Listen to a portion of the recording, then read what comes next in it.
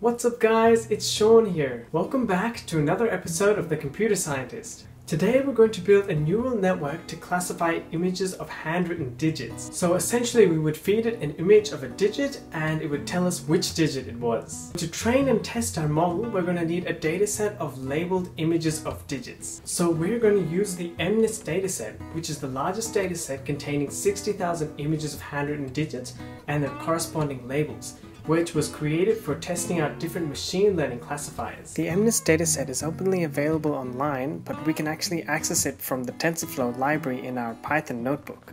Now, we can actually get an instant Python notebook online by searching Google Colab and clicking on this link. This is essentially like the Google Drive version of Jupyter Notebook, and it comes pre-installed with TensorFlow, which we will import along with the other essentials. We'll also set the NumPy print options to print to a line width of 150 characters for printing large arrays. And we'll also print the current TensorFlow version.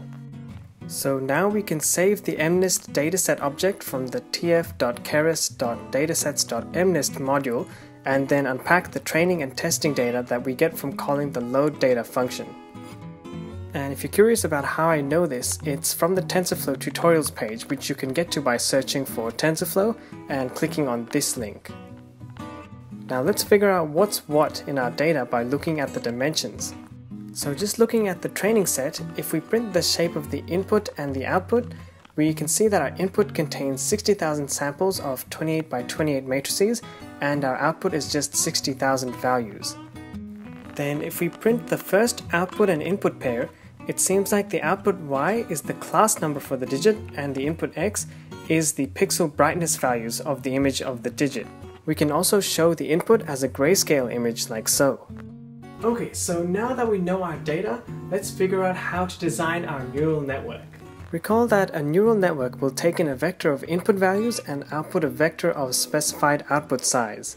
We know that the image is clearly the input, but how do we turn that into a series of input values? Well, we could consider each pixel's brightness value to be a unique independent variable. This would then give us 28 times 28, which equals 784 input values for each image. Now there's just the task of converting the 2D matrix into a 1D vector.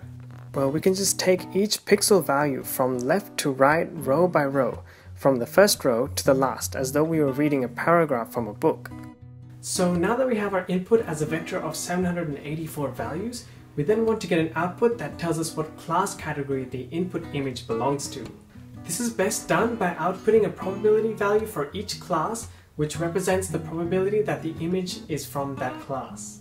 So since we have 10 digit classes from 0 to 9, we want to output a vector of length 10, where ideally the index of the matching class has a probability of 1 and the rest have a probability of 0. This is known as a one-hot encoded output, which in our case is a vector of 10 values.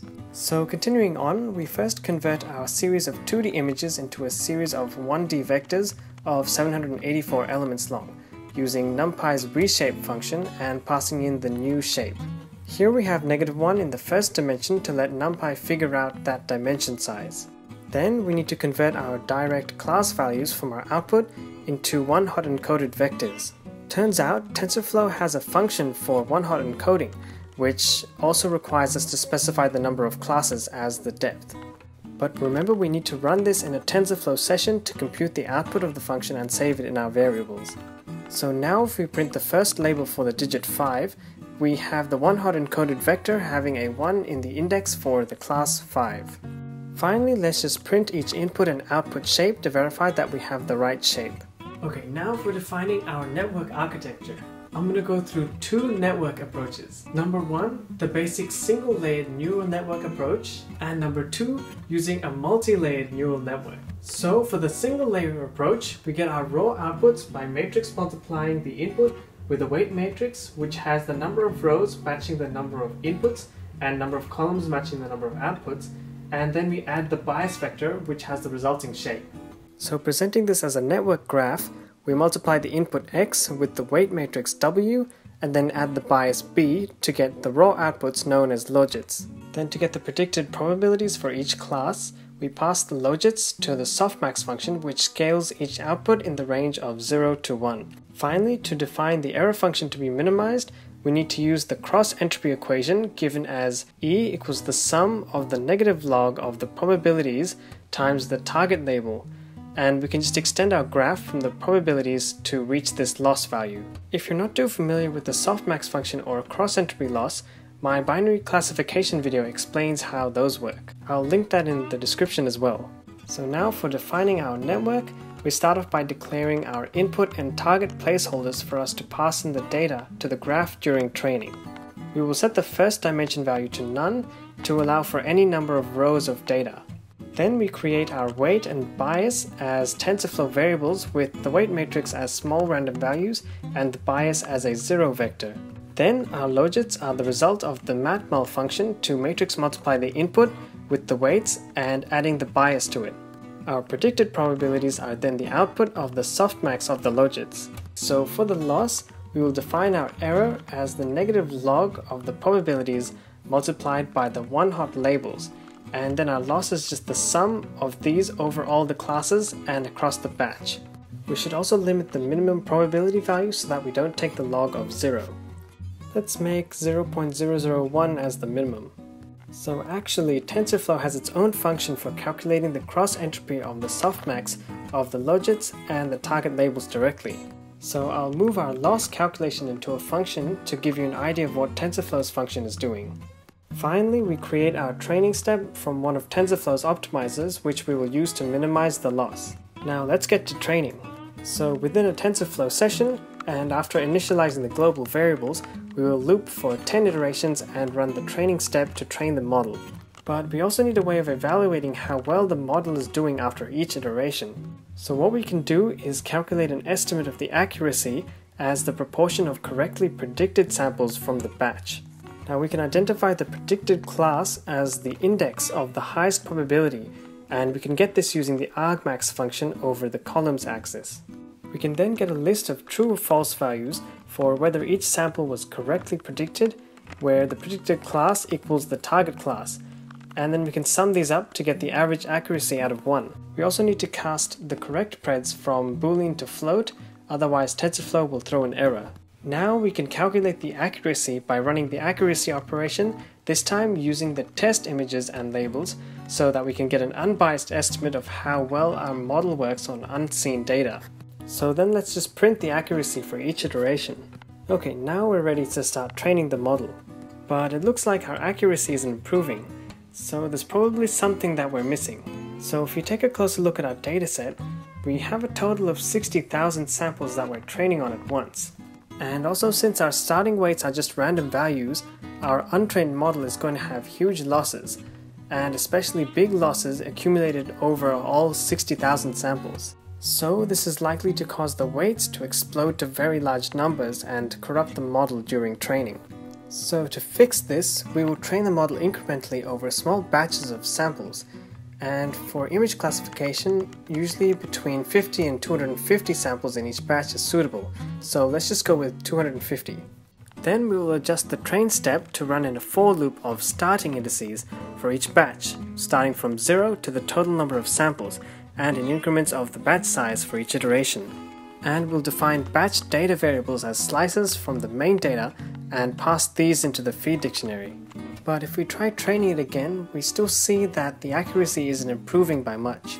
Well, if we take a closer look at our input values, we see that they can range up to 255, which can sum up to very large numbers, especially when you have 784 of them. So we will try normalizing our inputs as floats in the range of 0 to 1 by dividing them by 255. And this time when we train it, it works, and we can see a final accuracy of 92%. So we were able to get a best accuracy of 92%. But can we do better? Let's now look at the second approach using the multi-layered neural network. So what we're going to do here is direct the outputs of our current model as inputs to a second neural network, which will be the new final output for our predictions. This entire thing can be treated as one neural network, where the intermediate output is also known as a hidden layer of the network. You could even add any number of hidden layers between the inputs and the outputs if you wanted to. The benefit of doing this is that now you can add nonlinear transformations known as activation functions between layers, and this gives the overall model more flexibility to approximate complex datasets. One successful nonlinear transformation used between layers is the rectifying linear unit, or ReLU for short, and all it does is it zeroes out the negative values and only allows the positive values to pass through unchanged. And this is given by the equation ReLU of x equals the max of x and 0. And this can be thought of as the input only being considered active if its value is positive, and if it's negative, then it's inactive and has no effect. Now let's try adding this new feature to our graph. In TensorFlow, the weight multiplication and bias addition group is known as a dense layer. So I'll just replace this with a single dense layer operation, which gives us the hidden layer output, and then we can feed this into another dense layer to get the logits. We can also add the activation function right after the hidden layer. Now to adjust our model, I'm going to change our single layer matrix multiplication into a function called dense that we can generalize to any input size and a given number of outputs. It can also accept an activation function to apply to the logits of the layer to get the output as the non-linear transformation of that layer if the activation function is given. We can then get our hidden layer by calling the dense function and specifying a certain number of outputs, let's say 30, and then we'll also pass in the ReLU activation function. So here the number of hidden inputs is a hyperparameter that we need to set and this could involve a bit of trial and error to get the best value. We can then link that layer to a second dense layer which outputs the logits. So now if we run this, we can see that our final accuracy improves from 92% to 96%. And we can add even more layers by passing the last hidden layer into another dense function call. Lastly, as a final note, you could use TensorFlow's built-in dense function in tf.layers.dense as well as the ReLU function in tf.nn.relu. Well, you just discovered how to classify images with a neural network, as well as a few upgrades that can make your model even more badass. Seriously, we've only scratched the surface of what you can do with a neural network. In my next video, I'm going to show you a completely different type of neural network which beats the multi-layered neural network for image classification, so make sure you're subscribed to get notified about that. Anyways, thanks so much for watching this video. If you liked it, do let me know via the like button, and until next time, keep learning like a machine. Bye!